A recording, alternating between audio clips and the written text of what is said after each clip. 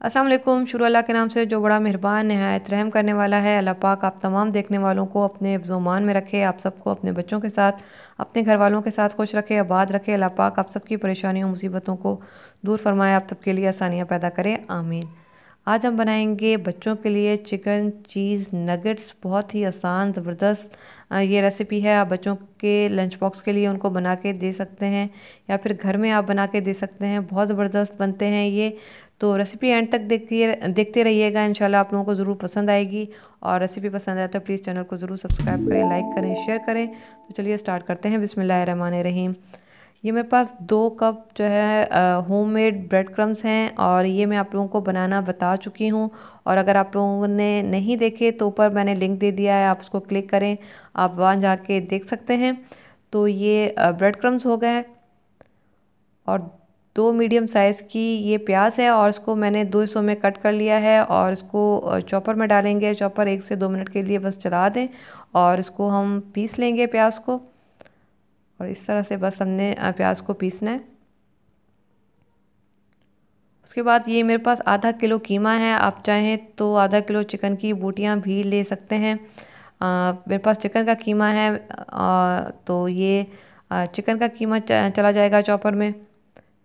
Chop ही होना है अगर आपके पास बोटियाँ हैं तो बोटियाँ ले सकते हैं चॉपर में बस डालें और बस इसको पीसना होगा। और टू टीस्पून सफ़ेद सिरका।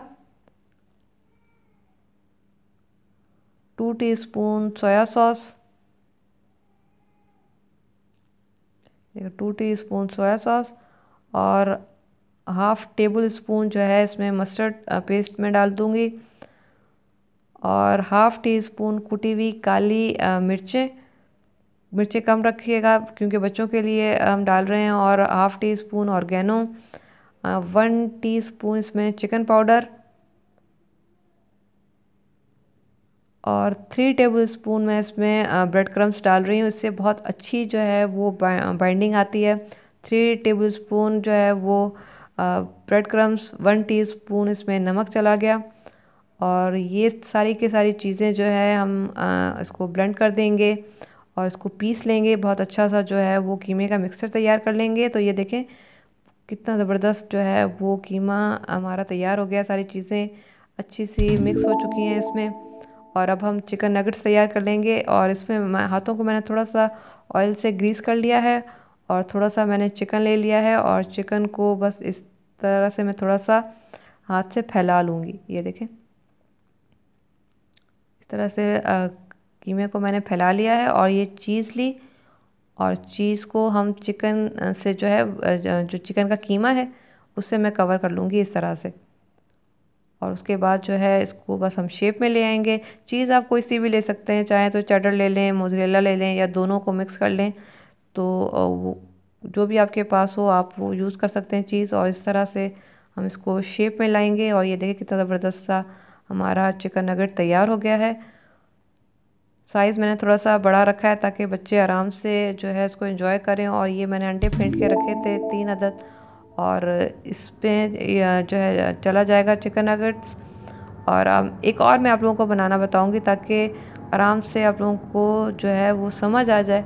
मकसद यही है कि आप लोगों को रेसिपी समझ आनी चाहिए मेथड समझ आना चाहिए। तो ये का हाथ को मैंने ग्रीस कर लिया और चिकन का कीमा लिया और उसको थोड़ा सा फैला लिया, अंदर चीज़ डाली और चीज़ को कवर कर दिया चिकन के कीमे से और फिर इसको हम शेप में ले आएँगे।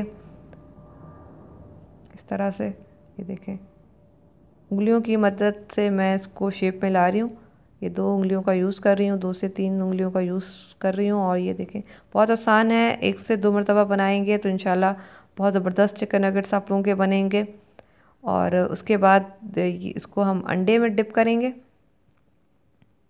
इस तरह से। पहले आप अंडे में डालें ताकि एक साथ ही जो है वो अंडे में आपके हाथ जो है वो, गंदे हो जाएँ। उसके बाद फिर आप उसको ब्रेड क्रम्स में डालें। वरना फिर आपके दोनों हाथ जो है ना, वो यूज़ आ जाएँगे, फिर अब बहुत मुश्किल हो जाता है। और फिर हम, ये जो ब्रेड क्रम्स थे हमारे, आप उसमें बहुत अच्छे से इसको कोट करें। जितना अच्छा आप इसको कोट करेंगे, उतने अच्छे ये क्रिस्पी बनेंगे। और फिर इसको हम दोबारा से इस तरह से रीशेप में ले आएँगे। क्योंकि अंडे में जब हमने डिप किया था तो ज़ाहिर है वो उसका शेप थोड़ा सा आउट हो जाता है।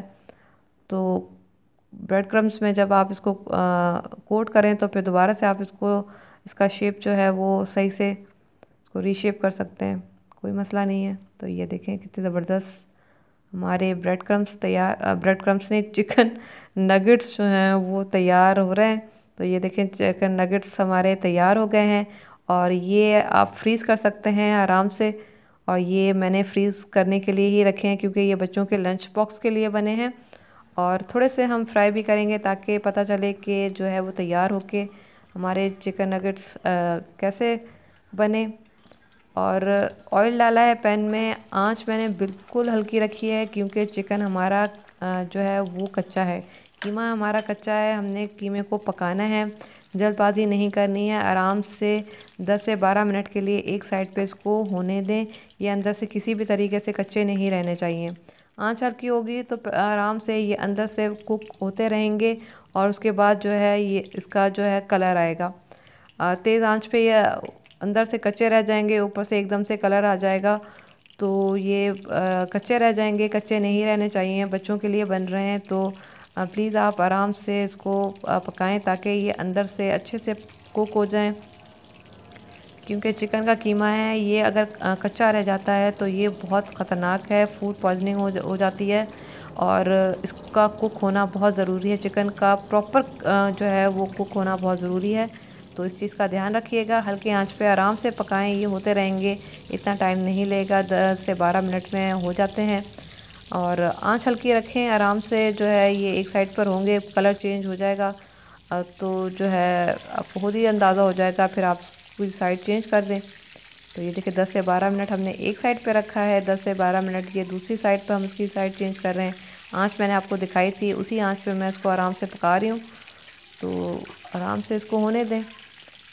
कच्चे कीमे के हैं, ज़ाहिर है इसको कुक होना ज़रूरी है और ये देखिए कितना ज़बरदस्त कलर आ रहा है। हमने घर के ब्रेड क्रम्स यूज़ किए हैं। आप बाज़ार के भी कर सकते हैं, क्योंकि घर में अक्सर जो है वो जो ब्रेड है वो बच जाता है।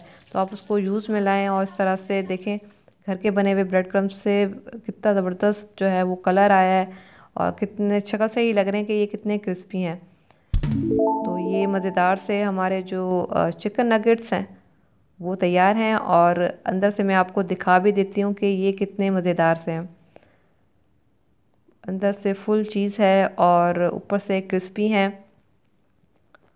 और ये मैंने ख़ुद लंच बॉक्स के लिए बनाए हैं। मेरा छोटा सा, प्यारा सा भतीजा है, तीन, चार साल का, उसको बहुत पसंद है तो ये मैंने उसके लिए बनाए हैं। लंच बॉक्स के लिए वो कहता है कि आप मुझे स्कूल के लिए बना के दिया करें। तो ये उसके लिए बने हैं। तो आप अपने बच्चों को बना के दें। बाहर का नहीं पता होता, पता नहीं कैसी चीज़ें होती हैं और क्या होता है। तो डॉक्टर भी मना करते हैं कि इस तरह की चीज़ें आप लंच बॉक्स में ना दिया करें। और ये मैं आपको दिखा भी देखें, आवाज़ देखें, ये कितना तो बनाइए, बच्चों को बना के दें और उनके लंच बॉक्स में उनको बना के दें और बनाने के बाद मुझे ज़रूर बताइएगा कि कैसे बने और जाते जाते यही खुश रहें, दूसरों को खुश रखें, लोगों में आसानियाँ बांटें। अपना बहुत सारा ख्याल रखिएगा, मुझे दो में